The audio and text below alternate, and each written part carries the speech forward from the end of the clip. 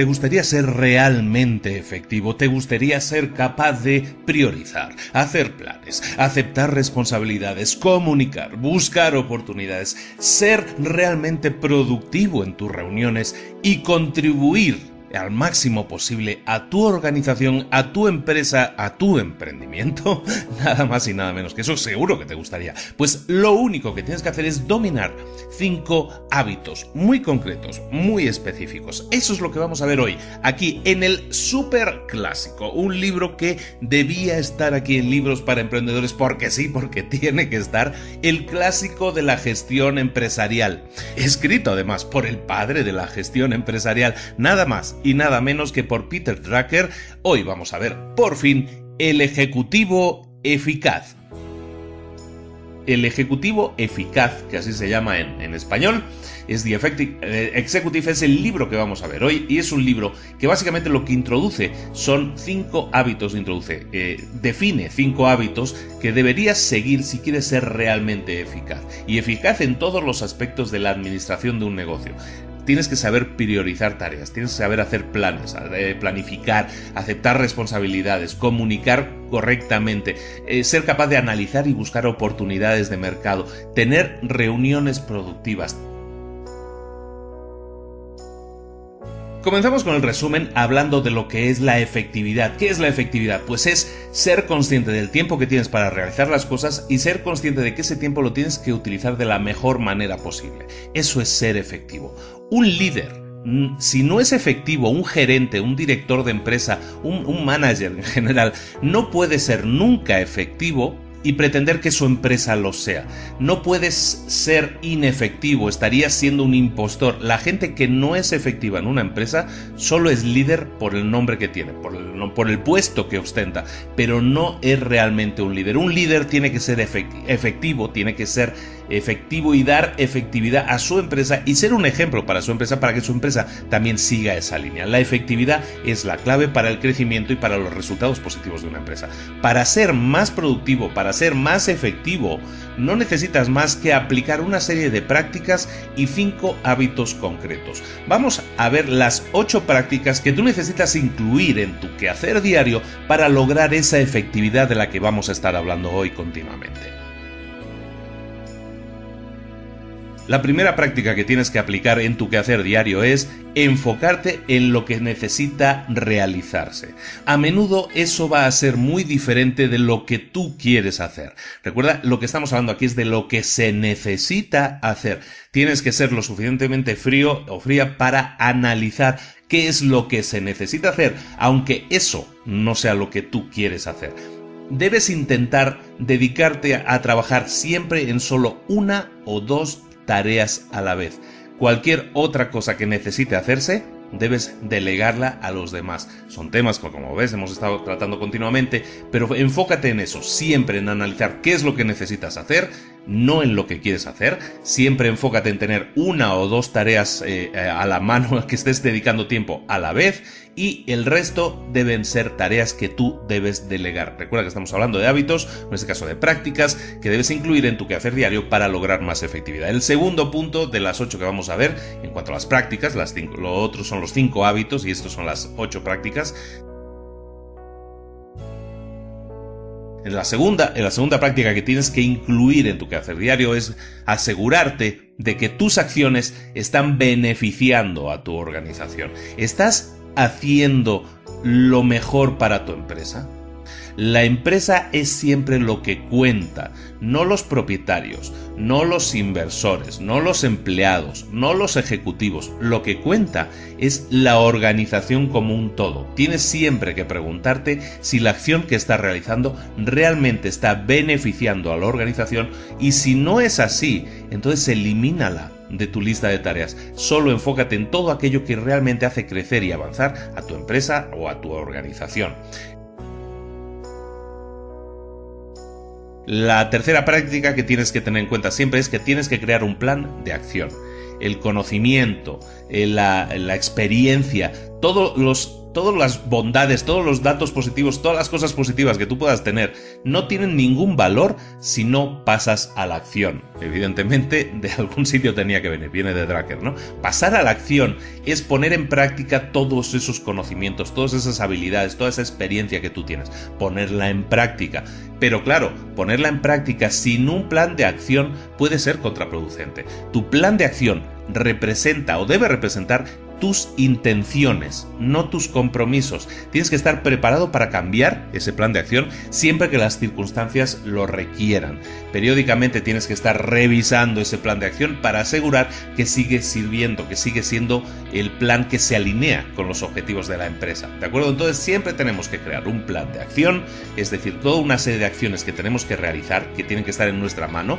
Puede ser acciones que nosotros dirijamos, no que hagamos personalmente, pero tenemos que tener un plan de acción que diga tenemos que hacer esto, luego esto, esto depende de esto, es decir, tiene que haber acciones enlazadas. Ese plan de acción tiene que ser lo suficientemente em, elástico como para poder ser cambiado y tiene que ser revisado periódicamente, eso es importantísimo, para corregir ese rumbo que normalmente siempre hay que hacer. La verdad, no conozco yo ningún plan de acción que no haya sido modificado. Entonces, un plan de acción es modificable por naturaleza. No te sientas mal porque los planes no se cumplieran. Simplemente sé lo suficientemente abierto de mente para poder corregir el plan de acción cuando haya impedimentos o cosas que hagan que tengas que cambiarlo. El cuarto punto, el la cuarta práctica que deberías incluir en tu quehacer diario es asumir responsabilidad por tus acciones. Asegúrate que la gente a la que reportas y la gente que te reporta conoce el plan de acción y conoce todos los detalles de ese plan de acción, también las fechas límite, las fechas de entrega. Eso es sumamente importante, no solo a quien tú le reportas, sino la gente que te reporta a ti también tiene que ser consciente de ese plan de acción, de las fechas límite y de las fechas de entrega. ¿Por qué? Porque su trabajo también está implicado en un plan de acción. Por lo tanto, debes determinar siempre para cada acción quién la va a realizar, a quién afecta, quién debe estar informado, a quién hay que actualizar cuando haya cualquier cambio en el plan. Todo eso quiere decir comunicación, comunicación y comunicación y asumir responsabilidad por las acciones. La persona que esté encargada de determinar, determinar determinada acción en tal fecha o antes de tal fecha, tiene que hacerse responsable de eso. Y tú, como líder último, te tienes que hacer responsable de todo el proyecto. Asumir responsabilidad significa que si algo falló, tú eres el responsable, no la persona que está a tu cargo y que a lo mejor falló porque no entregó a tiempo. Eso es tu responsabilidad. ¿Era su responsabilidad acabarlo eso? Sí, pero tu responsabilidad es con el proyecto entero. Recuerda que tú reportas finalmente a tu empresa. Tú lo que quieres es que tu empresa crezca, por lo tanto tú eres el responsable de que eso suceda y las acciones de la gente que está a tu cargo también son al 100% responsabilidad tuya. El quinto punto, la quinta práctica que tienes que hacer diariamente es comunicar tu plan, comunicar tus planes con otras, con los otros, con todas las otras personas. Esto incluye, como te decía, a tus subordinados, pero también a tus superiores. Ese continuo flujo de comunicación hace que todos estén, en una palabra que yo siempre utilizo mucho, estén alineados. Es decir, si todos saben cuál es el objetivo que estábamos buscando, tus subordinados, la gente que está a tu cargo, ellos están creando piezas de un rompecabezas y tú eres el que está armando ese, rompecabezas finalmente. ¿De acuerdo? Tu parte ahí es la de poner orden a todas esas piezas. Por tanto, tu, tu aportación es esencial, pero también lo es la de los otros, aunque los otros solo creen una pieza en concreto o tres o cuatro piezas de ese rompecabezas. Tú eres el encargado de que lo hagan y que esas piezas encajen a la perfección. Por lo tanto, ellos son responsables de esa pieza, sí, pero tú eres responsable de darles las directivas, las órdenes, los consejos, eh, la, forma en la que tienen que trabajar de forma que esa pieza que vayan a generar sea una pieza que encaje perfectamente en el todo que es ese rompecabezas, que al final es esa pieza, es ese proyecto que va a hacer que, este, que esta empresa, que este emprendimiento sume. Estamos hablando de la quinta, la, la cinco, era comunicar tus planes siempre a los demás, a los que estén por encima de ti y a los que estén por debajo de ti. El, sexto punto, la sexta práctica, es la búsqueda de oportunidades. Estar con la mente súper abierta para ver cuándo suceden cambios y también para prever los cambios antes de que estos sucedan. Por eso tienes que estar informado, por eso la comunicación es básica. Cuando tú estás completamente informado o informada de lo que está sucediendo a todos los niveles, tú eres capaz de detectar oportunidades. Las oportunidades también pueden ser peligros. Si tú eres capaz de detectar un peligro antes que suceda, eso es fantástico, porque puedes actuar en consecuencia. Entonces estar siempre súper conectado con la realidad de la empresa, no desconectado. Hay muchos, y, fíjate que hoy en día, esto está escrito hace un montón de años, ¿eh? en el año 66 son 50 eh, años, ¿no? Pues 51 eh, años, de hecho, ya tiene este libro, sigue siendo vigente porque hoy en día me encuentro a diario con gente que se desconecta de la realidad de la empresa. Y de lo que estamos hablando en esa desconexión es que, pues yo ya les dije lo que tenían que hacer, lo único que espero es estarme aquí sentado en mi escritorio y esperar el resultado. Hoy en día hay mucha gente que sigue comportándose así. ¿Cuál es el resultado de eso? Lo que siempre hablamos, ¿no? Tres de cada cuatro empresas que se crean se cierran al cabo de un año. ¿Por qué? Porque la gente no sabe ser ejecutora, no sabe ser efectivo, no sabe hacer que su empresa sea efectiva. Y recuerda que la efectividad empieza por uno mismo. Por lo tanto, la búsqueda de oportunidades nace de ver, de estar presente, de ser consciente al 100% de lo que sucede en la empresa, para de esa manera detectar oportunidades de negocio y también para ver oportunidades de corregir el rumbo para evitar problemas de a futuro. ¿De acuerdo? Entonces es importantísimo todas estas prácticas diarias. No, la séptima práctica que te aconsejamos que, pongas en práctica en tu empresa es que hagas que las reuniones sean productivas. Básicamente es un tema recurrente que ya hemos visto en otros libros, en otros resúmenes, cómo hacer reuniones de la forma más efectiva posible. ¿Por qué? Porque cuando tú haces una reunión, cuando tú estás haciendo una reunión en la que a, la que acuden ocho personas, si esa reunión dura una hora, ¿qué está sucediendo? Que hay ocho horas de trabajo de la empresa que se han de alguna manera perdido. Puede que no, puede que el resultado de la reunión, si es realmente efectivo, ayude a que la empresa recupere no solo esas ocho horas que se han perdido, es una hora por cada uno de los presentes, sino que a lo mejor incluso se gane más. Ese, es el, ese debería ser el objetivo de una reunión. Por lo tanto, si tú eres consciente de lo que cuesta una hora de trabajo, porque tú deberías saber cuánto cuesta una hora de trabajo tuya, cuánto cuesta una hora de trabajo de cada uno de tus empleados. Entonces, cuando tú organices una reunión a la que acudan todos esos empleados, tú mentalmente puedes hacer un cálculo de cuánto dinero le está costando a la empresa esa reunión en concreto. Cuando tú eres consciente de eso, seguramente te vas a dar cuenta de que mm, a lo mejor no necesitamos hacer una reunión de una hora, a lo mejor con media hora le hacemos y reduces a la mitad ese gasto, o a lo mejor no necesitas hacer una reunión para acabar rápido, a lo mejor con un correo electrónico estás, estás utilizando ese tipo de manera más efectiva para todos. Eso redunda en beneficios para la organización, eso redunda en que esa gente sea más productiva porque recordemos, la productividad también se basa en ciclos de trabajo. Si una persona está trabajando y tiene que interrumpir su trabajo para ir a una reunión que tú has organizado, eso va a romper su ritmo de trabajo. Por lo tanto, esa persona ya no va a ser tan productiva. Entonces, las reuniones son ladrones de tiempo, son ladrones de dinero para la empresa y tenemos que ser muy conscientes de que las reuniones se tienen que evitar siempre en la medida de lo posible porque así hacemos que la empresa sea más efectiva, que nosotros seamos más efectivos, que nuestros empleados o superiores sean más efectivos y al final que toda la empresa, eh, como un todo, como un conjunto, se beneficie de todo eso. ¿De acuerdo?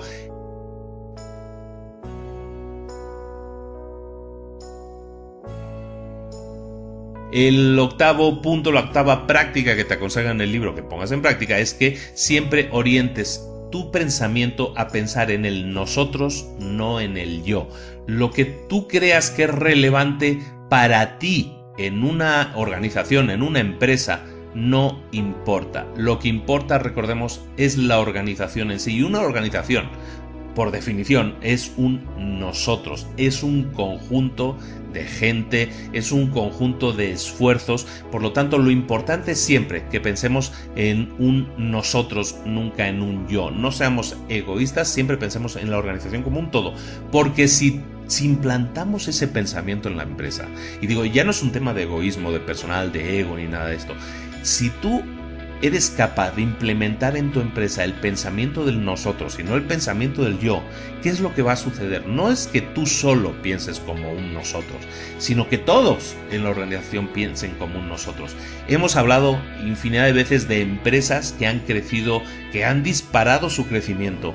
En todos esos casos, las empresas se componen, sí, de trabajadores, mm, claro, se componen de trabajadores, pero cada trabajador que está alineado con los pensamientos de la empresa, que está alineado con la forma de pensar del nosotros, sabe que toda su aportación, toda su aportación diaria va en beneficio de la empresa. Cuando todos piensan igual, la empresa crece, pero como loca, o sea, no tiene otro objetivo, no tiene otra posibilidad que crecer, porque todos están alineados con la idea de que hay que crecer hasta arriba, hasta donde se pueda, porque toda aportación no es buena para mí, no es buena para mi sueldo, no es buena para el bono extra que voy a generar, no, es buena para el crecimiento de la empresa y ese crecimiento de la empresa es un crecimiento que nos va a beneficiar a todos, pero el objetivo tiene que ser siempre el crecimiento del nosotros, el crecimiento de la empresa, el crecimiento del grupo, el crecimiento del conjunto. Cuando enfocas el pensamiento de esa manera, cuando la persona que vayas a contratar en tu empresa. Tiene ese pensamiento, tiene esa idea, tiene esa forma de trabajar en equipo, cuando tú educas, porque también es un punto de educación, cuando tú educas a la gente que trabaja para ti para estar alineada con lo que es con lo que significa ser un nosotros.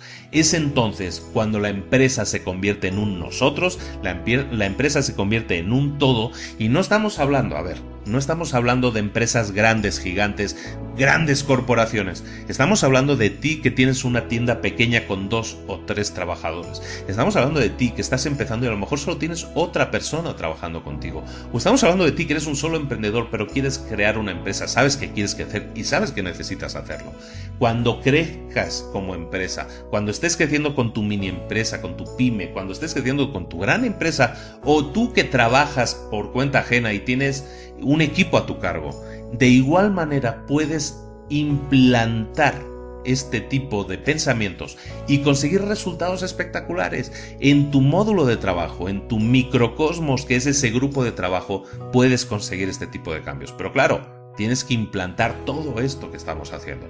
Es un trabajo de aportar, de un trabajo que, como digo, empieza por ti, pero que se traduce en resultados para todos. Porque cuando a ti te funcione, das el ejemplo. Cuando tú transmites que eso es la forma en la que quieres trabajar, y todos, hay gente que evidentemente va a plantear resistencia, pues hay que educarles para que entiendan lo positivo que representa eso también para ellos como parte del todo de la organización. ¿De acuerdo? No estamos, eh, a veces cuando leemos libros y hablamos de organizaciones, la gente tiende a pensar, no, bueno, esa es una persona, está hablando de empresas de 500, de 1000 personas, de miles de personas.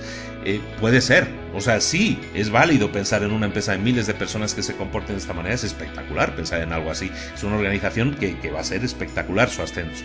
Pero también hablo de ti como empresario, como microempresario, también puedes implantar todos estos conceptos, porque si los implantas, tu empresa va a crecer y va a llegar un momento que no sea micro, porque si te va bien, si todos estamos alineados con, ese, con esa forma de pensar, de aportar cada vez más, entonces la empresa va a crecer. Y si desde el principio los planteamientos de la empresa están alineados con la forma de llevar una organización para que sea lo más efectiva posible, tu crecimiento va a ser más rápido, va a ser mejor, la gente va a estar más contenta, más alineada, sabe lo que tiene que hacer, sabe lo que se espera de ella y todo eso redunda en beneficios para la organización y y al fin, y aquí ya nos ponemos mucho más elevados. No solo eso, no solo para la propia organización, sino para la sociedad en un conjunto. Nuestra sociedad necesita empresas responsables. Nuestra sociedad necesita empresas efectivas, empresarios, empresas efectivas, trabajadores efectivos, para que todos sean eh, personas satisfechas, que se sientan realizadas con el trabajo que hacen y saben que están aportando para un bien mayor, ya sea su empresa, ya sea su organización o ya sea a la sociedad en un conjunto a través de las aportaciones de la organización a la sociedad. ¿Por qué no decirlo? Es decir, todo esto redunda en que tengamos una sociedad mejor, más satisfecha y con un grado de calidad de vida y de satisfacción personal mucho más alto. Fíjate de lo que estamos hablando. Bueno, esas son las, los ocho, las ocho prácticas que deberías llevar a cabo. Te las recuerdo así de rápido. La primera, enfócate en lo que se necesita hacer, no en lo que quieres hacer. La segunda, asegúrate de que tus acciones están beneficiando a tu empresa, a tu organización. El tercer punto, debes crear un plan de acción. El cuarto punto, debes asumir la responsabilidad por tus acciones y por las de los tuyos. El quinto punto, debes ser capaz de comunicar tu plan a los demás tanto a los, que, a los que tú reportas como a los que reportan a ti. El sexto punto, tienes que estar siempre abierto, siempre pendiente de buscar nuevas oportunidades, de detectar nuevas oportunidades. El punto siete, debes conseguir que tus reuniones sean lo más productivas posible. Y el punto ocho, debes orientar tu forma de pensar al nosotros y dejar de pensar en el yo. Pues estas son las ocho buenas prácticas que tú deberías llevar a cabo en una, organización. En una organización siempre te vas a encontrar con obstáculos. Las cosas no son fáciles y cuanto más grande sea una organización, muchas veces te encuentras con más obstáculos todavía para ser efectivo. A pesar de esos obstáculos, hay cinco hábitos que puedes implementar, que puedes aplicar a tu forma de trabajar diaria que te van a hacer completamente efectivo a pesar de los obstáculos. Hay muchas veces que eh, obstáculos de los que estamos hablando pueden ser, por ejemplo, el, el, que no eres dueño de tu tiempo. Muchas veces el tiempo, de, tiempo de un ejecutivo en una organización no es suyo, sino que depende de la organización. Hay, hay, gente que demanda de su tiempo continuamente y eso es un obstáculo constante, ¿no? O muchas veces por ejemplo, en el libro habla mucho de que en Estados Unidos, que es donde está escrito el libro y es en el que se basa, con los ejemplos que se basa, muchas veces la gente que ha crecido hasta ser un ejecutivo viene de una determinada área. Y esas personas que vienen de una determinada área tienden a prestarle más atención a la área de la que son originarios. Ese es un problema también para la empresa y le llaman operacionitis en el, en el libro. Y ese es uno de esos problemas que pueden eh, ser enemigos de que tú seas efectivo. Porque si tú te enfocas en donde trabajan más tus amigos que, en el resto de la empresa como un todo, entonces estás dejando cojo, eh, coja la atención que le estás dando al resto de, de departamentos en una empresa, ¿no? Y luego muchas veces las organizaciones son como silos independientes, ¿no? El departamento de contabilidad, el departamento legal, el departamento de recursos humanos, el departamento de tecnologías de la información. A menudo trabajan como si fueran empresas separadas. Ese es un gran problema para la organización porque esa falta de comunicación hace que cada bloque, cada empresa, ahora sí cada subempresa dentro de esa empresa, tenga metas diferentes, pueda tener metas diferentes. Entonces, cuando eso sucede, es muy difícil para el CEO, para el director de la empresa, para el encargado de la gestión total de la empresa, el ser capaz de combinar todos esos esfuerzos diferentes, porque las metas que tienen cada uno pueden llegar a ser diferentes. Por lo tanto, todos esos son puntos que tienes que tener en cuenta a la hora de, ver, de identificarlos como problemas y por lo tanto ser consciente de que los cinco hábitos que vamos a ver ahora son realmente efectivos para romper con estos problemas, con estos peligros y tener resultados mucho más positivos. Vamos a ver los cinco hábitos. El hábito 1, el primer hábito es que hagas buen uso de tu tiempo. Y para hacer buen uso de tu tiempo, lo que debes hacer es seguir tres pasos. El primero, llevar un registro de tu tiempo. Debes registrar todo lo que haces. Si no llevas un registro de lo que haces, nunca vas a saber en qué malgastaste tu tiempo o en qué puedes mejorar la efectividad que tienes. Por lo tanto, tienes que escribir con todo detalle cada una de las tareas que realizas, el tiempo que te ha tomado realizar esa tarea y todo ese eh, todo esa todo eso escrito, todo ese registro que tú vas a ir llevando va a ser una guía que te va a permitir después delegar esas actividades también si lo requieres. ¿Por qué? Porque vas a saber exactamente que esas actividades para realizarlas se necesita X cantidad de tiempo, X cantidad de días, X cantidad de recursos. si tú eres capaz de llevar ese tipo de registro, puedes hacer que luego tu empresa pueda crecer, que tus actividades puedan mejorar y ser más efectivas, porque tú puedes decir, mira, esta actividad que es repetitiva, que estoy haciendo todos los días y que realmente no aporta a la empresa el que yo lo haga, sino que lo puede hacer otra, otra persona y yo dedicar mi tiempo a algo que haga crecer a la empresa mucho más, esas son las decisiones que tú deberías estar tomando. De nuevo, a todos los niveles, no estamos hablando de grandes corporaciones, estamos hablando de cualquier empresa el detectar las tareas repetitivas que no aportan valor per se a la, empresa, a lo que tú estás haciendo, y que tú pudieras delegar y entonces dedicar tu tiempo a cosas que sí hagan crecer a la empresa, ese debería ser uno de tus enfoques principales a la hora de trabajar. Y para eso necesitas llevar un registro completo de lo que haces, de las tareas que realizas o, como dicen en el libro, llevar un registro de tu tiempo. De esta manera puedes ver también el tiempo que has malgastado.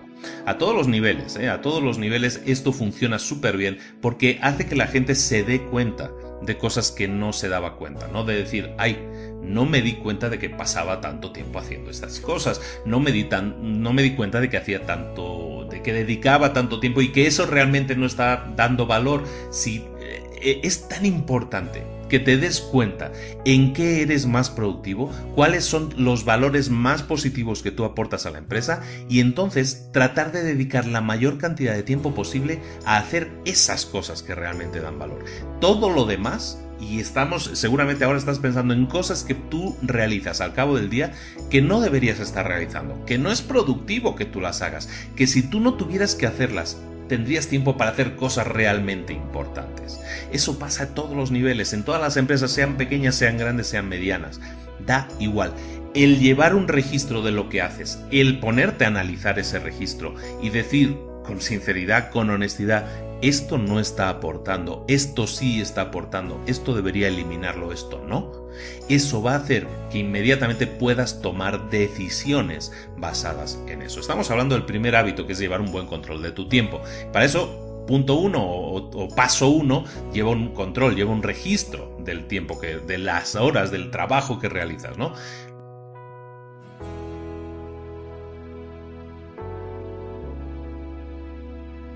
El segundo punto que tienes que tener en cuenta para llevar un hábito correcto en la gestión del tiempo es que debes ser un, precisamente eso, un gestor de tu tiempo.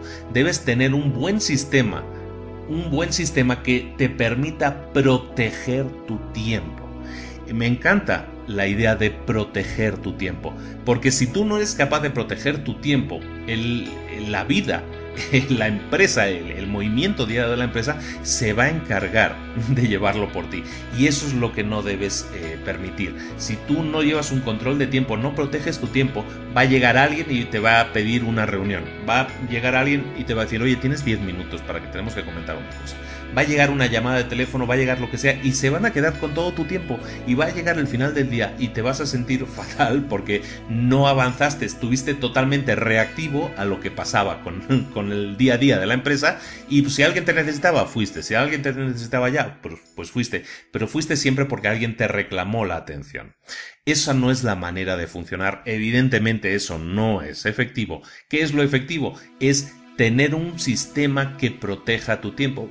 Algo tan simple como una agenda en la que tú reserves tiempo para toda una serie de tareas y hablamos muchas veces también de las tareas que son importantes pero no urgentes, que pueden ser las tareas que realmente hagan crecer una empresa.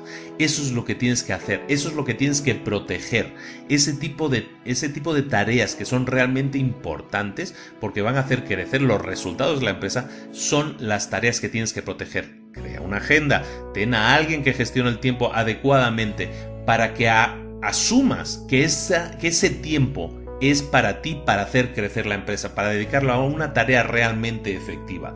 Cuando lo proteges, y hemos hablado hace un par de programas también de la gestión del tiempo, de cómo hacerlo, ¿no? Hay gente que es más efectiva trabajando en, pomodoros, ¿no? Por ejemplo, que eran de 25 minutos, o en bloques de una hora y media, o bloques de dos horas. Hay, hay mil técnicas, ¿no? Tú tienes que ver aquella que se ajuste mejor a ti, pero tienes luego que proteger el tiempo. Si tú sabes que de 9 a 11 van a ser tus dos horas de trabajo, o que los pomodoros los empiezas de 9 a 9.25, bueno, pues concéntrate en ese tiempo, protege el tiempo, es fundamental que lo protejas y que sepas que en ese, en ese momento de trabajo a lo mejor hasta desconectas los teléfonos para que tu tiempo sea realmente efectivo. Si tú eres capaz de proteger tu tiempo de esa manera, los resultados aumentan y si los resultados aumentan, toda la empresa como un todo se beneficia, incluso esas personas que querían, entre comillas, robarte esos 5 minutos de tiempo. El tercer punto, el tercer paso que debes seguir para dominar el control de tu tiempo es lo que en el libro llaman consolidar el tiempo. Y consolidar el tiempo tiene que ver con algo muy importante, que es la autodisciplina. Si tú eres un ejecutivo en una empresa, un dueño, un empresario, un, solo emprendedor, da igual. Tú sabes que eres dueño de, a lo mejor si trabajas 8 o 9 horas al día, tú sabes que eres dueño de un 25% de tu tiempo como máximo. Sabes que tienes eh, una serie de reuniones, sabes que tienes que hacer una serie de tareas fijas cada día y sabes que al final el tiempo para ti, realmente para dedicar a las labores de crecimiento, a las cosas realmente importantes, a lo mejor es solo un cuarto de tu tiempo total, ¿no? Son dos horas al día o tres horas al día. Consolidar el tiempo se refiere a que intentes consolidarlo, que intentes juntar todos esos tiempos libres que tú tienes, hacerlos que sean tiempo que esté juntos.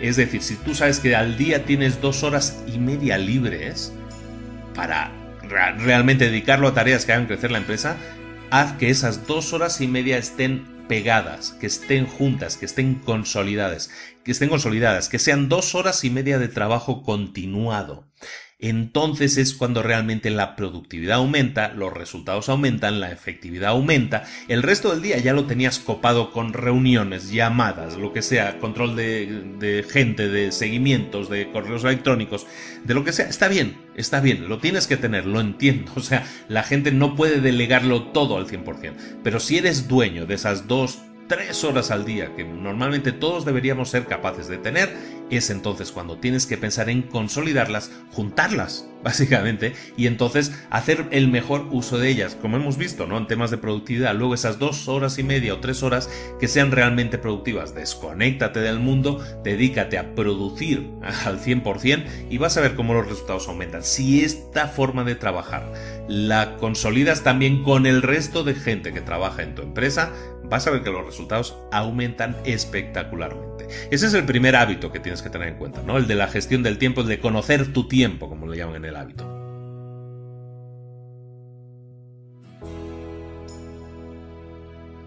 El segundo hábito se llama ¿Cómo puedo contribuir? Y este es un hábito fantástico porque te obliga a pensar en el nosotros que estábamos hablando, ¿no? Te obligan a pensar en el crecimiento de la empresa.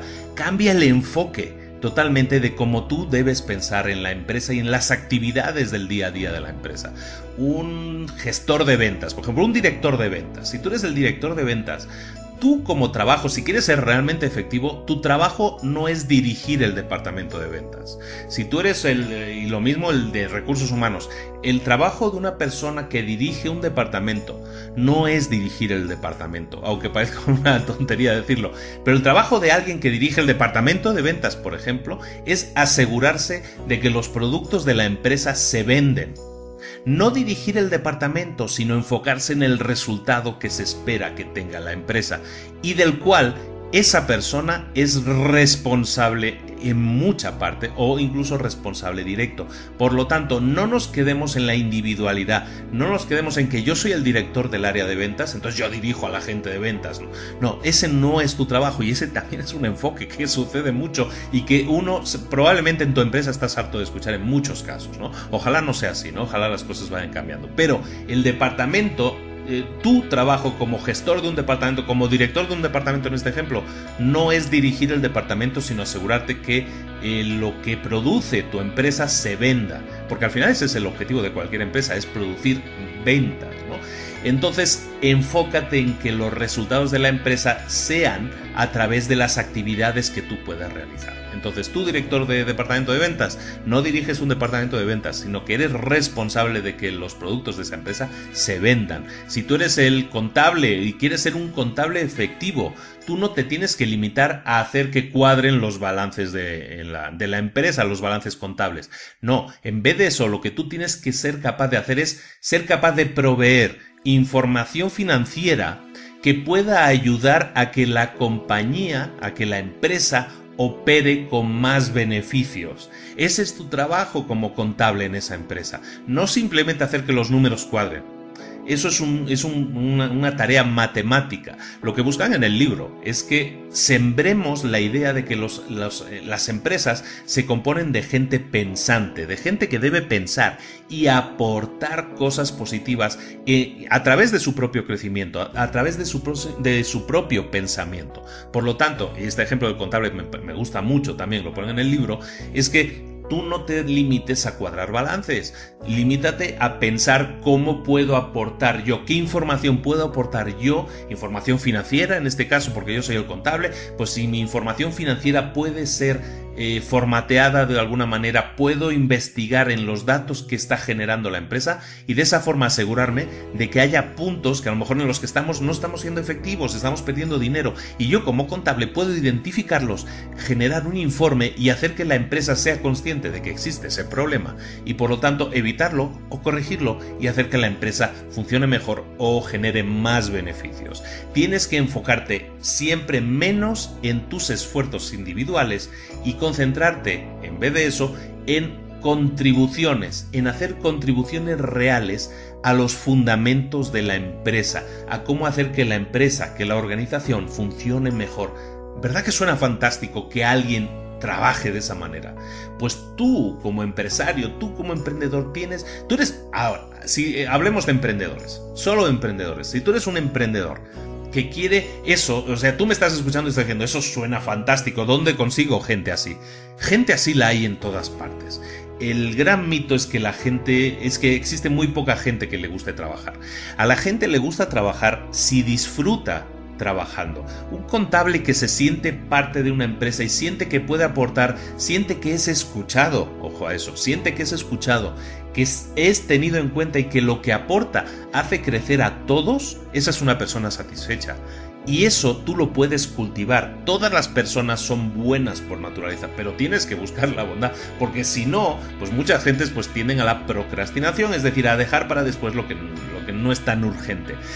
Si tú eres capaz de cultivar esa forma de pensar, y recuerda, eso empieza por uno mismo, si eres capaz de sembrar esa forma de pensar y buscar a las personas que piensen de la misma manera y las que no piensen igual, educarlas para que empiecen a pensar de la misma manera, entonces vas a ver cómo todas empiezan a contribuir. Y de repente, como decíamos antes hablando del rompecabezas, el rompecabezas, las piezas empiezan a encajar. Y cuando las piezas empiezan a encajar, y yo he visto empresas, ¿eh? yo he visto empresas con líderes carismáticos que siembran esto y que obtienen esos beneficios. Y hay empresas con gente que dejó de trabajar en esa empresa hace 10 años y que siguen recordando lo bien que se lo pasaban en esa empresa, aunque trabajaran muchas horas, ah, estaban aportando, estaban haciendo, estaban contribuyendo, que es de lo que se trata en este segundo hábito. Es algo que tú como dueño de empresa, tú como empresario tienes que sembrar. No se trata de que voy a... Mm, voy a entrevistar a gente hasta que encuentre a alguien que sea así. La gente no la encuentras así en las entrevistas. Esta gente que, contribuye y que hace crecer la empresa es algo que tú cultivas. Por lo tanto, empieza por ti mismo, empieza a cultivar esa, esa forma de trabajar, transmite esos valores a la empresa todos somos personas de valores. A lo mejor la, gente que tienes trabajando ahora tiene unos valores diferentes y cultiva los valores que tú quieres para la empresa. Y vas a ver cómo ellos mismos empiezan a descubrir las ventajas de este método, las ventajas de dejar de pensar en sus esfuerzos individuales y centrarse en sus contribuciones, dejar de pensar en trabajar y empezar a pensar en contribuir. El segundo hábito que hemos dicho entonces se llamaba así, ¿cómo puedo contribuir?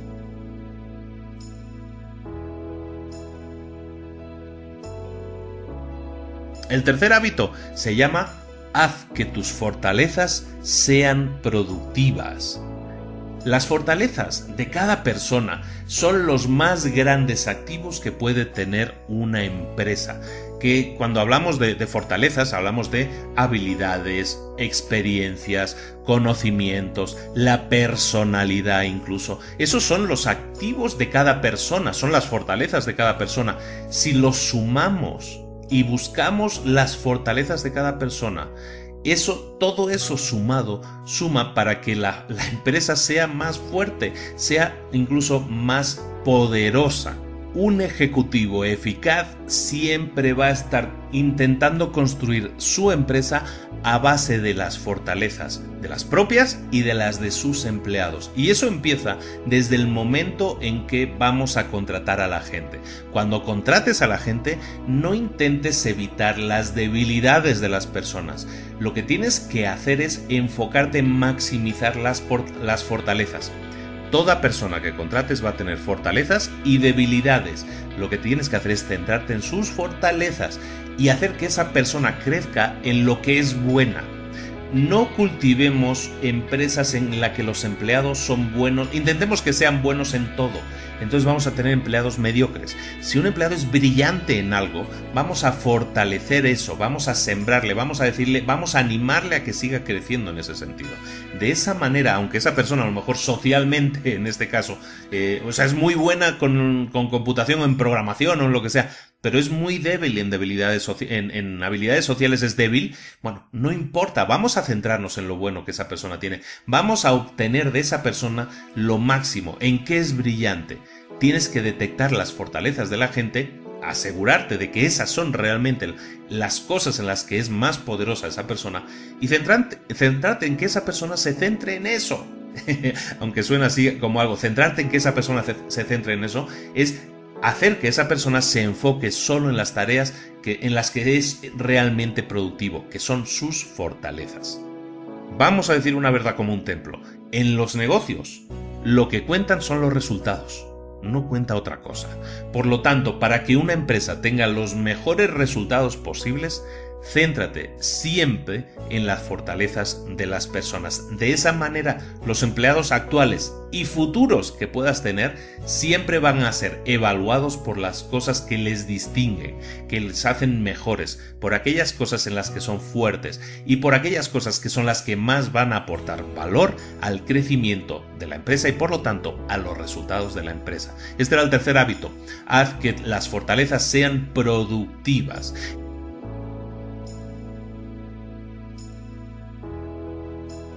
El cuarto hábito se llama primero lo primero. Y en esta tarea, en este hábito, lo que hacemos es hablar de productividad, de ser realmente productivo y sobre todo de priorizar. ¿De qué estamos hablando aquí? Mira, en la, en, general en cualquier empresa y yo soy yo he sido el mayor culpable de eso también ¿eh? o sea pero bueno de los errores se va aprendiendo. Yo he sido el gran culpable como muchos otros y supongo que te sentirás identificado de lo que llamamos la multitarea de intentar hacer todas las cosas a la vez de que te de si tienes eh, ocho bolas ah, con las que hacer malabarismo de intentar hacer malabarismo con las ocho bolas a la vez. Eso es imposible. Bueno sí se puede hacer hay gente que es capaz de hacerlo y tú puedes intentar hacer muchas cosas a la vez ser lo que se llama multitarea. ¿Cuál es el resultado normalmente de la multitarea? El resultado de la multitarea es que quizás con suerte puedas alcanzar los objetivos que se te han pedido, pero la calidad del trabajo que estás entregando está por debajo del nivel del que tú serías capaz de entregar. Ojo a eso, eso es importante, estamos hablando ya de calidades aquí. ¿Tú puedes enfocarte en hacer las ocho tareas que tenías pendientes a la vez? Sí. ¿Probablemente las saques? Sí, con un mayor esfuerzo con una mayor pérdida de tiempo en cualquier caso, pero los resultados pueden ser que sí llegues a alcanzarlos, pero la calidad del resultado será por debajo de lo necesario, por debajo de lo por lo menos de lo que tú puedes generar. Y eso es importante tienes que evitar la multitarea siempre que puedas. Hemos trabajado, hemos trabajado ya con varios libros que tocan ese tema. El más famoso se llama Una sola cosa o The One Thing, que es básicamente que te enfoques en una sola cosa. Esto viene, fíjate que el libro viene de este, ¿no? De este cuarto hábito en el que te concentres en una sola cosa. ¿Por qué? Porque eso te va a hacer más productivo. Porque cuando eh, cuando tú te concentras en realizar una sola cosa, estás priorizando, estás escogiendo la tarea que va a generar más resultados, que va a hacer que la empresa sea más productiva, que va a hacer que tu trabajo sea más productivo y, y que sea mejor en general para la empresa. Siempre debes priorizar. Siempre tienes que analizar las tareas que estás realizando. Si hay alguna tarea que no es productiva, elimínala.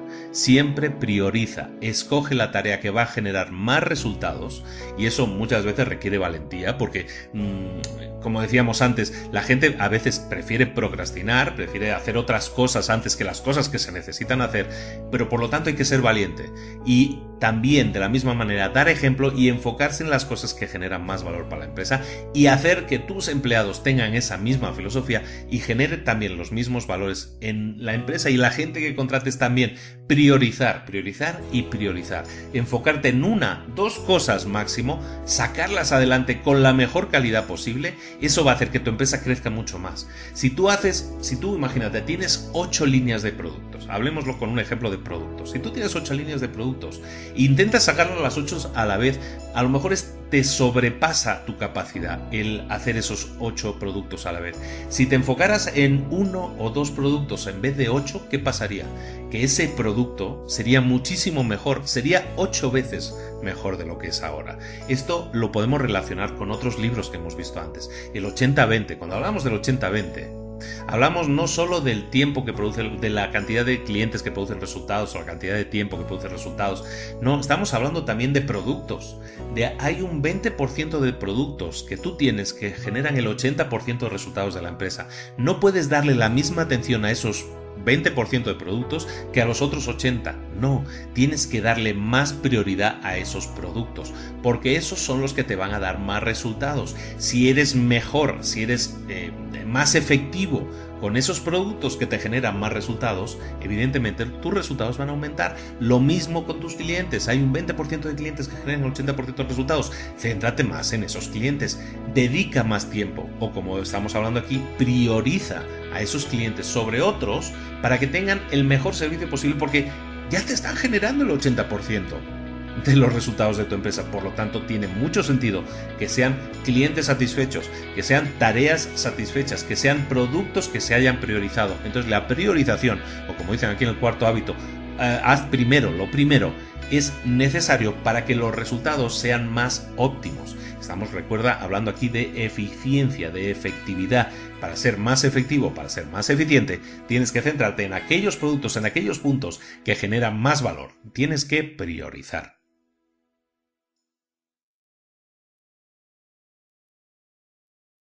El quinto y último hábito que vamos a ver y que deberías implementar sí o sí es el de la toma de decisiones. Este también es muy interesante, me encanta cómo está escrito, cómo está relatado y, y el enfoque realmente ayuda mucho a cambiar la forma en que ves la empresa.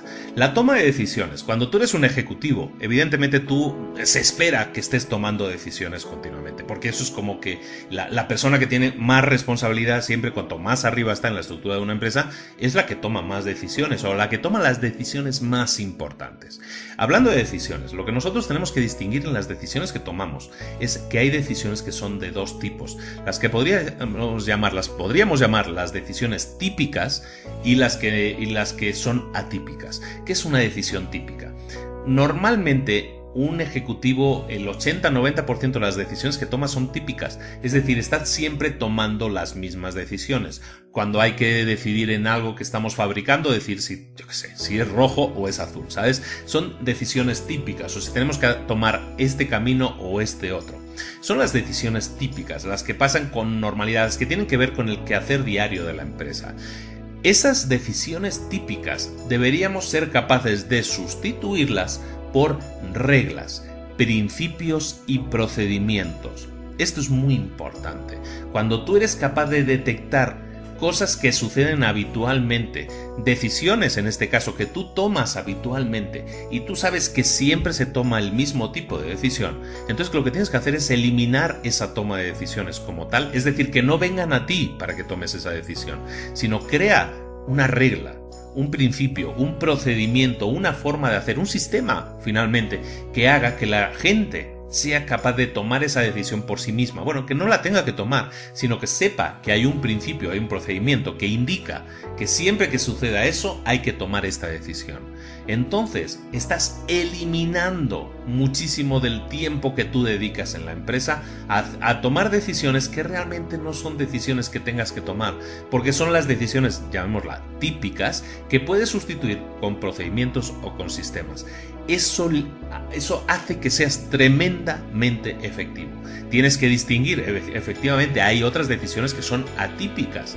En el ejemplo que te ponen en el libro, por ejemplo, hablan de, de que cuando tienes que tomar decisiones típicas es, por ejemplo, si tú tienes una, una empresa y tienes que estar tomando decisiones que tienen que ver, como te digo, con el quehacer diario de la empresa, ¿no? Oye, que se estropeó una máquina, bueno, pues tenemos que poner en marcha la máquina de reserva. Ese tipo de decisiones, ¿no? Son cosas que suceden habitualmente, eso puede ser un procedimiento que esté por escrito y entonces ya no tienes que tomar esa decisión.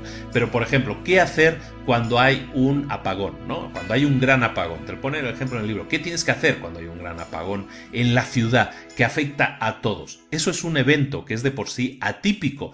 Y entonces lo que necesita un evento atípico son decisiones atípicas tienes que ser capaz de detectar cuando un evento, que este es un evento muy, muy salvaje, ¿no? O sea, que hay un gran apagón, no es normal, pero puede haber decisiones que son atípicas y tienes que detectarlas y saber entonces que no conviene aplicar ahí las reglas establecidas. Tú eres el que crea reglas, el que crea procedimientos, pero son para las decisiones típicas. Una decisión atípica no se puede solucionar con un procedimiento habitual. A eso es a lo que voy, ¿de acuerdo? Entonces, ser capaz de distinguir entre situaciones genéricas o situaciones extraordinarias es la base de que un ejecutivo sea realmente efectivo a la hora de tomar decisiones. ¿Y cómo hacerlo? Porque tú me vas a preguntar, claro, siguiente pregunta, ¿y eso cómo lo decides? ¿Cómo sabes si una situación es típica o es atípica? Si es típica, entonces voy a, seguir unos reglamentos o voy a crear reglamentos o procedimientos, y si no es típica, entonces las decisiones que yo tengo que tomar y ser capaz de tomarlas con un criterio elevado, eso se basa en la, la toma de decisiones en general, se basa en los datos. Cuando tú tomas una decisión, puedes basarte en datos. Por ejemplo, en la bolsa, ¿no? Cuando tú tienes una empresa o tú te dedicas a invertir, tú puedes tomar como criterio cosas que han sucedido en el pasado. Tú sabes que, me invento ¿eh? Tú sabes que siempre entre junio y septiembre las empresas de determinado tipo de, de industria tienden a estar a la baja o sabes que el dólar en determinados meses del año tiende a bajar o tiende a subir porque hay más compras o porque hay más ventas o por lo que sea o porque entró un presidente nuevo o por lo que sea que suceda, ¿no? El caso es que cuando tú tomas decisiones siempre te basas en cosas que han pasado en el pasado.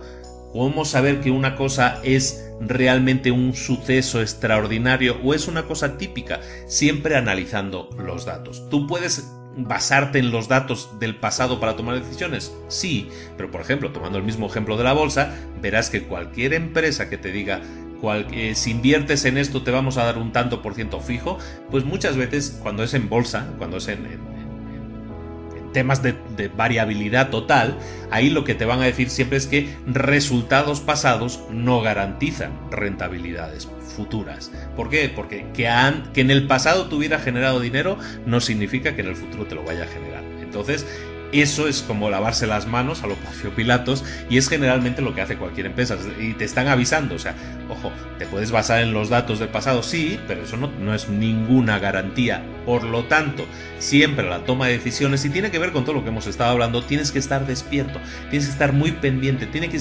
existir muchísima comunicación diaria a todos los niveles en la empresa para que tú sepas, tengas toda la información siempre para saber y detectar si pasa algo que sea diferente. Y entonces utilizar ese criterio de tener información fresca siempre para saber si efectivamente esto es una, una decisión típica o una decisión atípica. Es así de sencillo. No se puede prever todo siempre tenemos que tener la, la suficiente, en España, la suficiente cadera, ¿no? Ser capaces de saber movernos, de saber corregir nuestros rumbos siempre de acuerdo a los datos, de acuerdo a, lo que esté sucediendo. ¿no? Los eventos pueden ser ordinarios o genéricos o pueden ser extraordinarios. Tenemos que ser capaces de detectarlo y actuar en consecuencia. Pero, ojo, llévate también eso. En la toma de decisiones, el 80-90% de tus decisiones siempre son las mismas. Si tú eres capaz entonces de crear principios, procedimientos, reglas que sirvan a los demás para que esa decisión no la tengas que tomar tú, sino que ya no sea una decisión, sino sea simplemente una forma estándar de trabajar, eso le hace mucho bien a la empresa, hace que sea más efectiva y hace que tu tiempo sea mucho más efectivo porque lo puedes dedicar a cosas que realmente puedan hacer crecer la empresa, que eso es lo que nosotros buscamos. En general, en este libro, ya estamos terminando, es que en este libro y en la vida todo depende de ti, todo depende de tu actitud. Lo que hablan en este libro es de lo que buscamos cuando hablamos de ejecutivos efectivos o que se, o que se muevan con efectividad. Lo que buscamos es gente que piense, básicamente gente que piense. Todo se reduce a eso. Pero claro, nosotros no podemos exigir que la gente piense, nosotros tenemos que animar a que la gente piense. Y eso lo podemos hacer evidentemente con una cultura en la que se respete la opinión de los demás, en que se valore y se tenga en cuenta la opinión de los demás, en que se genere esa sinergia en la que haya comunicación entre todos los empleados y que esa comunicación genere resultados más positivos para el todo el todo es la empresa. Estamos creando ese microcosmos, esa, esa, esa, pequeña entidad que es la empresa, pequeña o media o grande incluso, en muchos casos, pero esa organización pretendemos que sea lo más efectiva posible. Y para eso tenemos que lograr que todos los miembros de la organización aporten, sumen, pero ojo, no podemos exigirlo, tenemos que propiciarlo. Tenemos que hacer que en la empresa, cuando alguien hable, se le escuche. Y tú como jefe, tú como empresario, tú como emprendedor, tienes que sembrar eso para poder recoger los mayores resultados posibles en tu empresa o en tu emprendimiento. El resumen es ese, son esos cinco hábitos, esas ocho prácticas que hemos comentado, sí es eso, pero a través de los ejemplos, a través de lo que te va a hacer pensar, tienes que reflexionar por qué no estás implantando esos hábitos. Y soy consciente de que la mayoría de gente me escucha y dice, esa empresa suena muy bien, pero es que mi caso es diferente. Tu caso no es diferente. Eres exactamente igual que cientos, miles, millones probablemente de empresas en el planeta que sí están empezando a aplicar o han aplicado desde hace muchos años, que están aplicando conceptos que hacen que la empresa sea más efectiva. Por eso hay empresas que crecen y por eso hay otras empresas que no crecen. Vamos a hablar de todo eso, pero ya estamos hablando de todo eso. Ser una empresa efectiva pasa por ti, empieza y termina en ti, en lo que tú propicies y generes y en lo que tú valores en los demás vas a conseguir entonces retornos de inversión, porque eso es una inversión que tú haces. Vas a conseguir un retorno de inversión muy grande. No hay excusas. Tu empresa no es diferente a las demás. Tú puedes aplicar todos estos hábitos que no dejan de ser también valores que tú puedes aplicar en una empresa y te aseguro pruébalos. Es que la gente dice, no, es que eso no va a funcionar para mí y no los prueba. Y la gente prefiere hablar de la teoría de que eso, eso en mi caso no funcionaría. Bueno, pruébalo. Eh, ¿Qué te cuesta probarlo? ¿Vas a perder algo? No, te garantizo que no vas a perder nada. Al contrario, estoy convencido de que vas a ganar. Pero tienes que probarlo, tienes que pasar a la acción, poner en práctica todo lo que hablamos, todo lo que revisamos y todo lo que comentamos aquí.